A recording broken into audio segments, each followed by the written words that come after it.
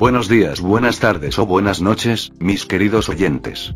Solo quería recordarles que la historia no es mía, link de la historia como del creador en la descripción del vídeo. Y para los que quieran apoyar para mejorar el canal, tendrán un link de mi Patreon en la descripción del vídeo. Sin más que decir, disfruten del capítulo de hoy.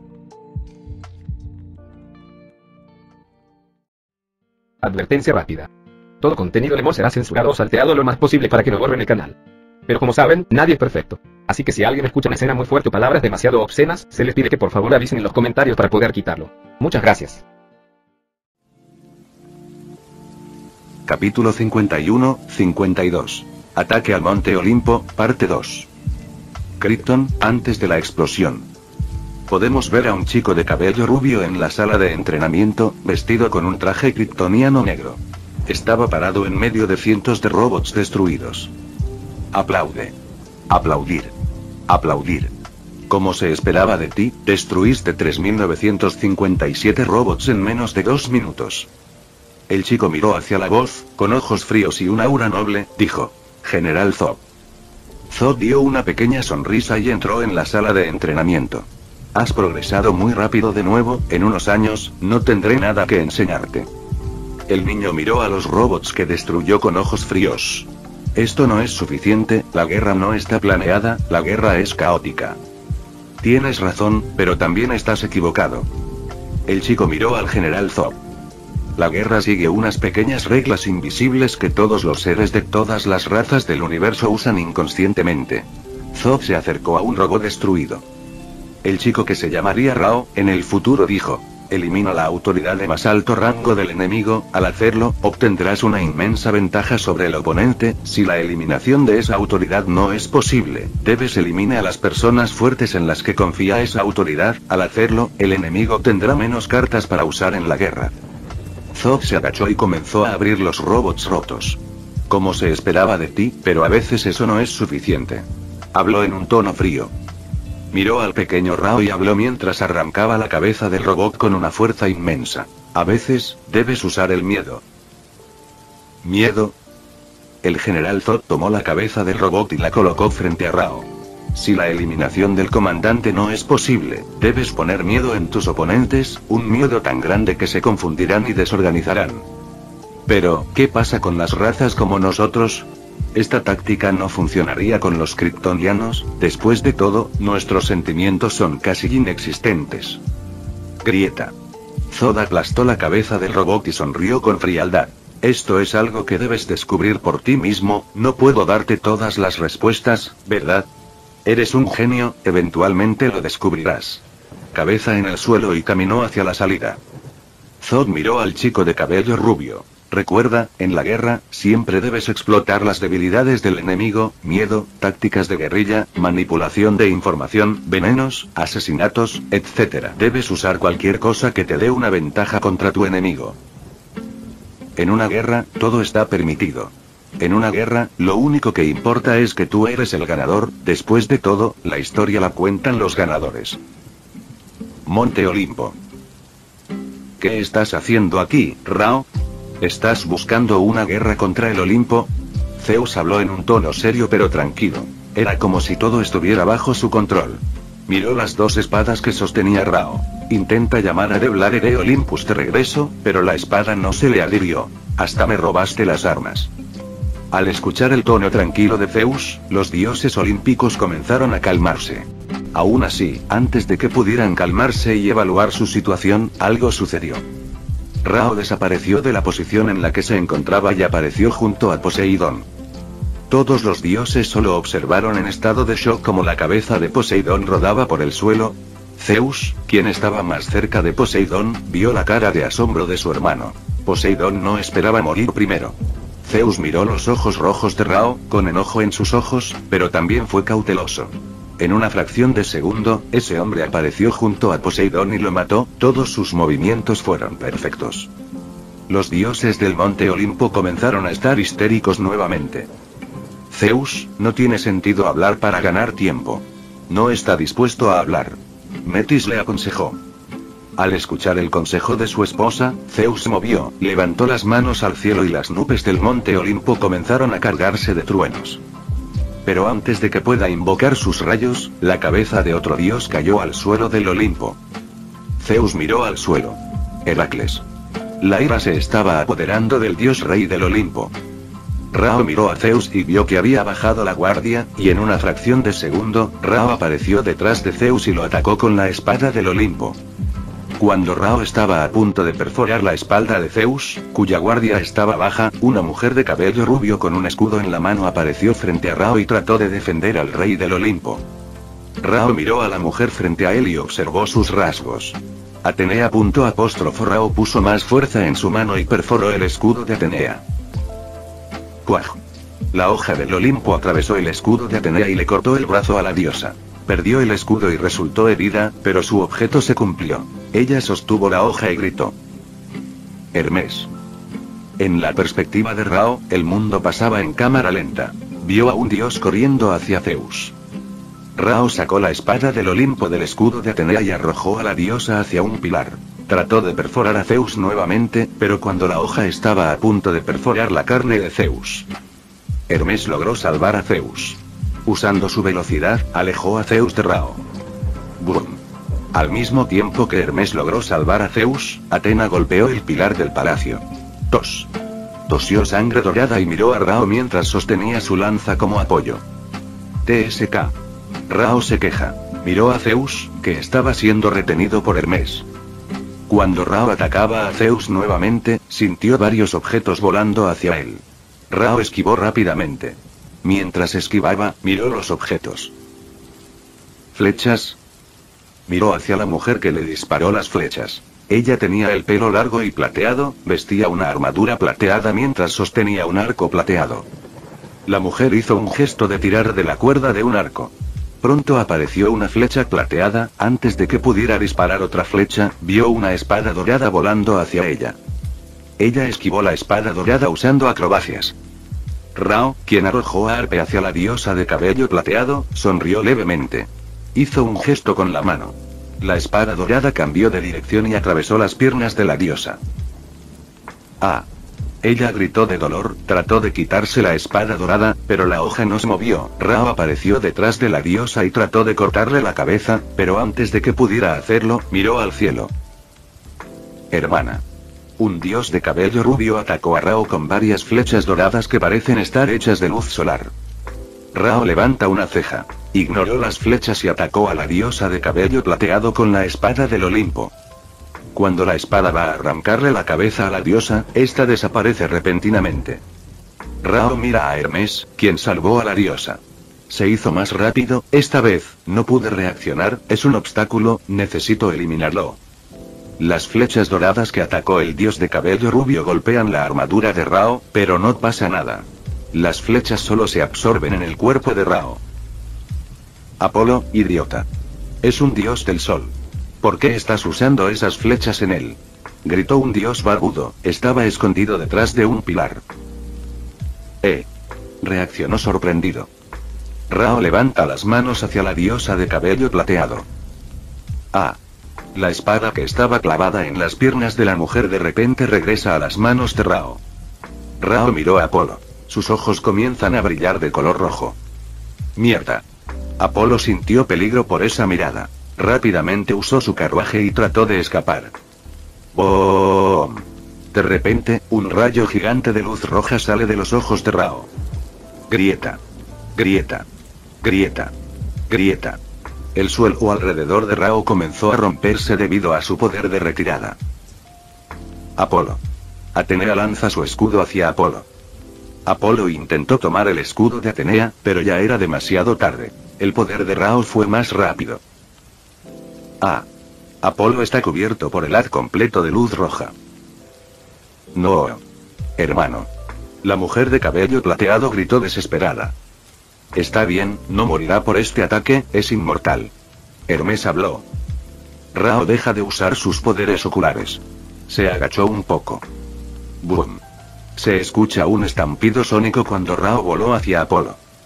Usando la espada dorada, Rao le corta la cabeza a Apolo, que estaba quemada. Punto punto punto punto punto. Los dioses estaban paralizados mientras observaban cómo el cuerpo de Apolo caía lentamente al suelo. Podían sentir, como Poseidón y Ares, que la divinidad de Apolo se había perdido para siempre. Él estaba muerto. No. La diosa de cabello plateado gritó. Miró a Rao con odio en los ojos. Bastardo. Ella tomó su arco y comenzó a atacar a Rao con varias flechas. Rao comienza a volar en el cielo y esquiva las flechas. Mientras volaba, sus ojos estaban enfocados en Hermes. Hermes sintió el peligro cuando vio la mirada de Rao. Suficiente. Se escuchó la voz de Zeus. Retumbar. Retumbar. Retumbar. Retumbar. ¡Boom!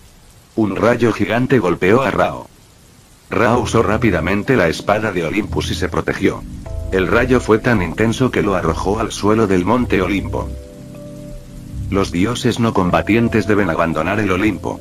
Todos los dioses con deidades que se pueden usar en las batallas deben permanecer en el Olimpo. Rao, el dios rey de Krypton, declaró la guerra al Olimpo. A partir de hoy, estamos en guerra. La voz de Zeus resonó en todo el Olimpo. Los dioses del inframundo están siendo convocados para ayudar al Olimpo. Zeus proclamó. Cuando estaba a punto de dar más órdenes, sintió algo. Rápidamente mira hacia abajo. Ah. Rao, cuya armadura estaba completamente rota, repelió el rayo de Zeus. Zeus rápidamente esquivó su propio rayo. El relámpago atraviesa las nubes del monte Olimpo, haciendo que se abran las nubes cargadas de truenos, y pronto el sol logró entrar en el monte Olimpo. Tos.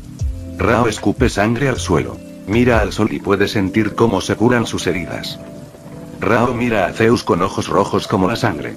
Zeus se sintió presionado solo por la mirada de Rao, a pesar de estar herido y solo, Rao logró poner una semilla de miedo en el corazón de Zeus. Capítulo 53, 54. Ataque al Monte Olimpo, parte 3. Artemis y Atena ven a Rao todo ensangrentado con la armadura rota, y pensaron que esta era una oportunidad para atacar a Rao. Al escuchar el movimiento de las dos diosas, Rao miró a las dos diosas. Las dos diosas tragaron saliva cuando vieron los ojos rojos de Rao. Rao mostró una pequeña sonrisa a las dos diosas, comenzó a volar hacia el cielo. Desde la perspectiva de las dos diosas, esa sonrisa era la de un demonio que estaba a punto de matarlas. Se dieron por vencidos en atacar a Rao y solo miraron lo que iba a hacer a continuación. Lentamente, las heridas de Rao que estaban siendo bañadas por el sol amarillo comenzaron a sanar. Se miró el brazo y se dio cuenta de que el comunicador seguía funcionando. Faora. Por primera vez desde que llegó Rao, todos los dioses podrán escuchar la voz de Rao. Era una voz poderosa, una voz que transmitía el sentimiento de autoridad y superioridad. Era la voz de un rey. Faora, que estaba sentada en la silla de mando viendo a Rao luchar en la nave nodriza, dijo. Sí, mi señor. Coloca los cristales en el piso, aislaremos el monte Olimpo. Tu deseo es una orden. Colgó el comunicador. Miró a todos los kryptonianos presentes. Relajó su mano que estaba aplastando la silla del comandante, quería pelear junto con Rao y estaba bastante irritada al ver a esos gusanos lastimando a Rao. Aún así, aguantó y no dejó que sus sentimientos se mostraran en su rostro. Ella sabe cuál es su deber, Rao confiaba en ella y no podía decepcionarlo. Non estaba en una situación similar. Quería estar luchando junto a Rao, como el escudo del rey. Se sintió humillado al dejar que su rey resultara herido.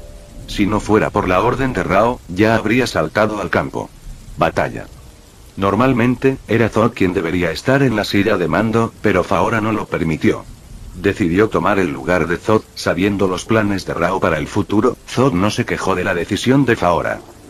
Lanza los cristales, aislaremos el monte Olimpo. Habló con voz fría. Sí, mi señora. Un kryptoniano habló con una voz más fría de lo habitual.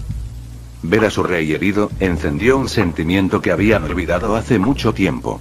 Estaban enojados. Los kryptonianos que estaban viendo la pelea de Rao estaban enojados. Era una rabia fría que lo tragaría todo, si no fuera por las órdenes de Rao. Lanzamiento de cristales de contención en 3, 2, 1.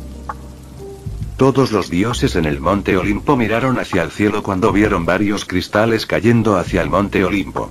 Zeus no sabía qué eran esos cristales, pero no podía dejar que los planes de Rao funcionaran. Destruye esos cristales. No lo dejes caer al suelo. Zeus cargó sus manos con un rayo y atacó los cristales que venían del cielo. Al escuchar la voz de Zeus, los dioses guerreros comenzaron a atacar los cristales. Atena arrojó su lanza hacia los cristales. Artemis atacó con varias flechas, con una velocidad aterradora, lanzó varias flechas. Una lluvia de flechas voló hacia los cristales. Dionisus rompió algunos de los pilares del monte Olimpo y comenzó a lanzar hacia los cristales. Varios dioses estaban usando sus herramientas para cumplir las órdenes de Zeus. ¡Boom! De repente, se escuchó un estampido sónico. Rao voló hacia el cielo y se paró frente a los cristales. Levantó la espada del Olimpo hacia el cielo, la espada comenzó a brillar con un resplandor azul. Mierda. Zeus, como dueño anterior de esa espada, sabe cuál fue este ataque. Con un movimiento de la espada, una energía gigantesca salió de la espada y atacó todos los poderes que se lanzaron hacia los cristales. Todos los poderes de los dioses fueron cancelados con solo un golpe de espada. Esto es imposible, nos va a matar. Un dios menor habló cuando vio lo que dijo Rao. Punto punto punto punto punto. Zeus estaba lamentando haber creado una espada tan poderosa. Sigan atacando. No dejen que ese cristal caiga al suelo. Ordenó Zeus. Rao mostró una pequeña sonrisa, levantó la espada al cielo nuevamente, la espada comenzó a cargarse con poder divino nuevamente. Tonto, este ataque requiere mucha energía, incluso yo en mi mejor momento, solo pude usar este ataque tres veces. Zeus pensó con una sonrisa en su rostro. Zeus usó los poderes del rayo y atacó a Rao. Los cristales entraron en la atmósfera y se acercaban al suelo a gran velocidad. Cuando la espada estaba cargada con poder divino, Rao lanzó el ataque hacia los dioses menores y, con la velocidad del sonido, usó su espada para cancelar todos los ataques de los dioses. Bastardo. Gritó Zeus. Atena. Protege a los dioses menores. La diosa de la guerra asintió, ignoró el dolor en su brazo, corrió hacia su escudo y voló hacia el cielo. Rao miró a Atena con una pequeña sonrisa. Faora, lanza los meteoritos. Sí, mi señor. Faora mira a Zod. Zod, ¿están listos los guerreros? Sí, tienen equipo espacial, están listos para tirar las piedras en cualquier momento. Lanza los meteoros. Ella activó el comunicador de sus subordinados. Sí, mi señora. Atena se detuvo frente al ataque de Rao con el escudo levantado. Su escudo sigue siendo bastante resistente a pesar de estar dañado. Atenea. La voz de Rao resonó en todo el Olimpo. A pesar de estar ocupada, Atena miró a Rao. Al ver la sonrisa fría de Rao, sintió un mal presentimiento. ¿Qué vas a hacer al respecto? Rao señaló el cielo. Todos los dioses, incluido Zeus, miraron hacia el cielo y vieron varios meteoros gigantes que venían hacia ellos. La desesperación ha alcanzado a los dioses menores. No pueden defenderse de este ataque. Rao. Estás loco.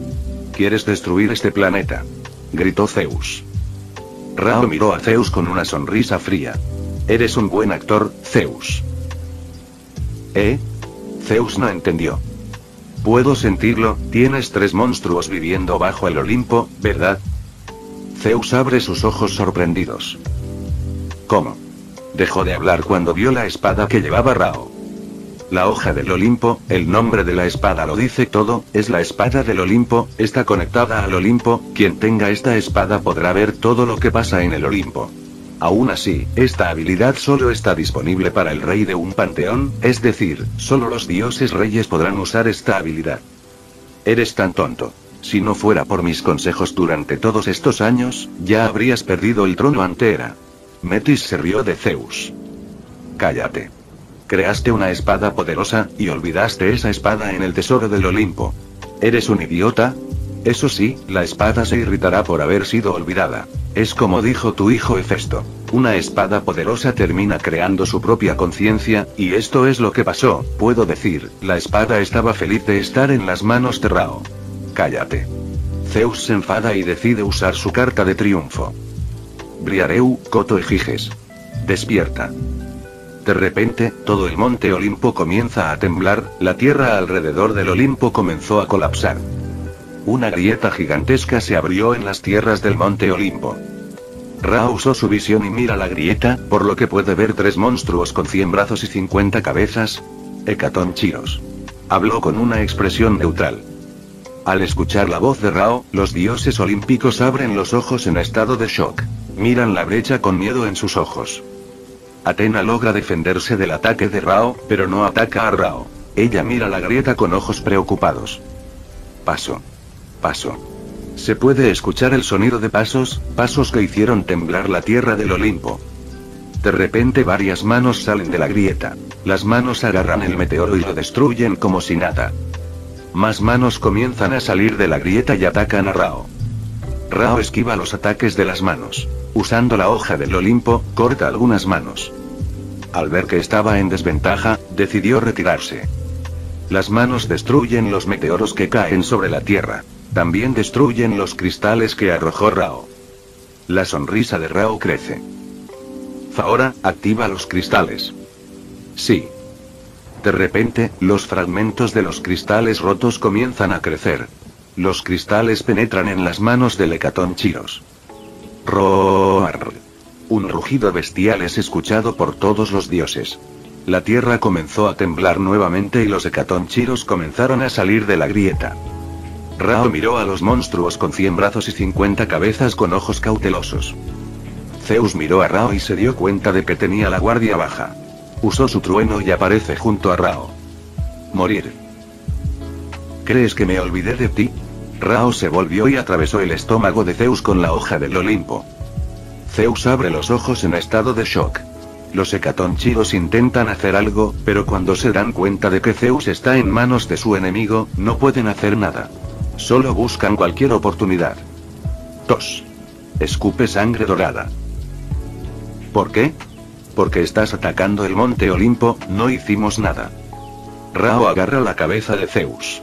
Estás equivocado, no estoy atacando el monte Olimpo. Eh. Te estoy atacando, Zeus, tú fuiste mi objetivo todo el tiempo, los ataques al monte Olimpo fueron solo tácticas de guerra. Rao habló con frialdad. Es de sentido común eliminar al líder enemigo, ¿verdad? Jajajaja, tienes razón. Zeus de repente saca un rayo y ataca el estómago de Rao. Rao ve eso y sonríe con frialdad. Zeus perforó el estómago de Rao. Rao tose sangre. ¿Crees que dejaría caer la espada del Olimpo? Preguntó Rao con una fría sonrisa en su rostro. Punto punto punto punto punto. La expresión de Zeus se oscurece. Su plan era simple. Lastimaría a Rao y robaría la espada del Olimpo. Con esta arma, podría derrotar a Rao. Pero nunca pensó que Rao recibiría sus heridas y no soltaría la espada. Era, tu esposa me advirtió, me dijo que nunca soltara la espada del Olimpo. Rao dijo, sonriendo. Al escuchar el nombre de Hera, el rostro de Zeus se pone rojo de ira. Esa perra. Me engañó. Si no fuera por ella, no hubiera pasado. Comenzó maldiciendo a Hera con todos los nombres posibles. Rao recuerda la expresión muerta de Hera. Parada. Saca la mandíbula de Zeus. No le gustaba ver a Zeus hablando de Hera. HM HM HM HM HM HM. Zeus intenta decir algo, pero le han arrancado la mandíbula. No quiero escuchar más tus tonterías. Rao saca la hoja del Olimpo del estómago de Zeus. Cuando iba a cortarle la cabeza a Zeus, siente una presencia en el cuerpo de Zeus. Rao levanta una ceja, usa su visión y ve una mosca en el cerebro de Zeus. Recuerda un cuento que leyó en libros humanos, y la expresión de Rao se vuelve disgustada. Abre el cerebro de Zeus y deja que el mosquito abandone el cuerpo de Zeus. Pronto este mosquito comienza a brillar. De repente, una hermosa mujer de largo cabello dorado y ojos azules aparece frente a él. Llevaba un atuendo muy revelador, al igual que todas las diosas que había conocido hasta ahora, estaba deslumbrante. Metis, la diosa de la prudencia cuyo nombre significa sabiduría. Rao habló en un tono neutral. Gracias por salvarme, Rao. Metis habló de gratitud. Pensé que iba a morir con Zeus. Ella dijo con disgusto. Rao mira a Metis como si la estuviera evaluando. Ahora, entiendo cómo Zeus logró administrar su caótico reino. Sí, yo era su asesor. Ella confirma las palabras de Rao. Rao mira el trozo de carne frente a él. Cuando va a matar a Zeus, de repente escucha la voz de alguien. Esperar. Un dios de pelo negro aparece junto a Rao. Rao se aleja rápidamente, no cree que nadie haya logrado acercarse tanto a él y no sintió nada, miró al hombre de cabello largo y negro mientras se preparaba para pelear.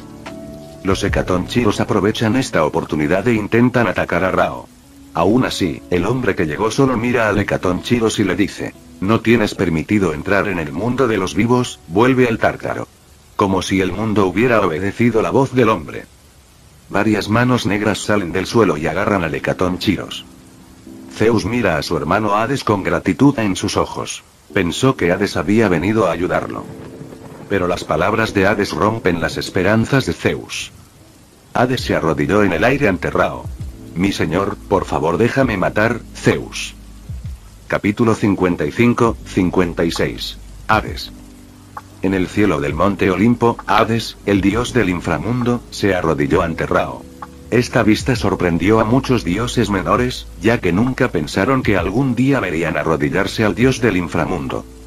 Incluso Rea, la diosa de la maternidad, que también es la madre de Zeus, Estia, Hera y Hades, se sorprendió por esta visión.